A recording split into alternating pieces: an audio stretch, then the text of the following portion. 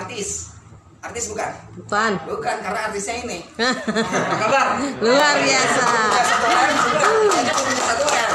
Nah, nah sekarang artinya pendidikan terbatas, modal terbatas, artis juga bukan. Bukan. Betul nggak? Ada salah satu lagi nikah dengan orang kah? Kaya.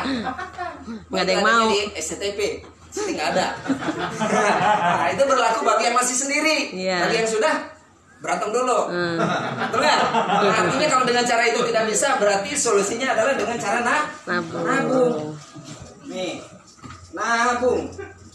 Kalau nabung supaya ketemu angka 1 M, ya butuh berapa lama, butuh berapa biaya yang harus kita keluarkan setiap bulan. Bulan. Seandainya Bapak Ibu nabungnya 1 juta per bulan, supaya ketemu angka 1 M, maka membutuhkan waktu sekitar 1000 bu 1000 bulan. 1000 bulan itu sama dengan kurang dan lebihnya 83 ta 83 tahun. Tambahin umur Kalau sekarang. ditambah umur Bapak Ibu yang hari ini baru 17, ya, anggaplah 17. Berarti akan ketemu angka 1 M itu di usia 100 tah 100 tahun.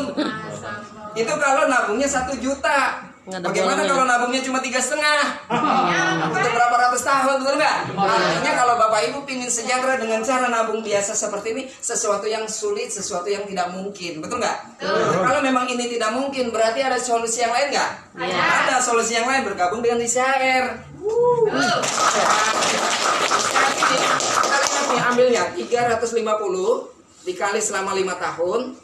Uang kita ini bukan uang yang disimpan tapi diinvestasikan dengan keuntungan nanti 6% kecilnya sedangnya 14% dan tinggi 20%. Nah, asumsi ketika keuntungannya 20% maka di angka 21 tahun ditambah 5 tahun nabungnya berarti totalnya 26 tahun ini berpotensi kurang lebih 1 M. Tuh, Luar biasa.